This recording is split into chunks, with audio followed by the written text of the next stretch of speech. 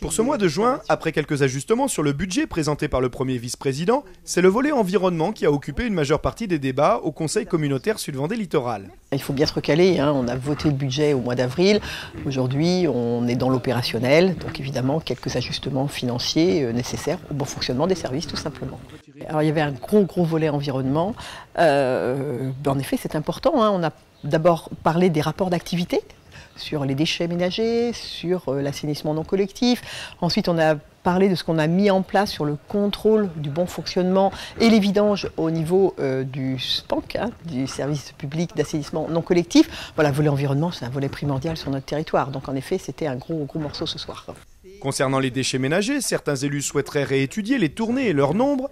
L'intercommunalité se penchera donc sur le sujet en veillant au coût que cela induit pour les administrés. Ce qu'on dépense pour collecter les ordures ménagères, on doit le récupérer en recettes auprès des usagers. Donc en effet, euh, passer de un passage à deux passages, bah, c'est pas anodin.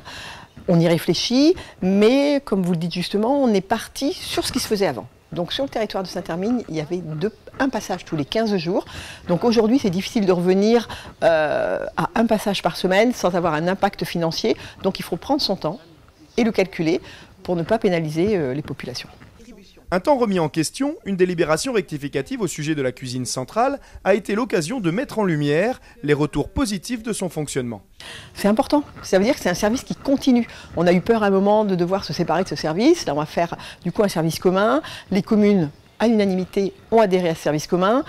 On va essayer peut-être de mettre en place une nouvelle méthodologie pour répondre plus aux souhaits bah, des parents, hein, tout simplement, relayés, relayés plutôt par, les, municipalités. Donc voilà, donc on était en train de travailler un gros gros travail là-dessus pour répondre aux attentes tant du tarif que de la qualité des produits, que de leur provenance. Hein. On y est très très attentif. Voilà. Donc ça se travaille, mais en effet, j'étais contente d'entendre les élus satisfaits du travail amorcé.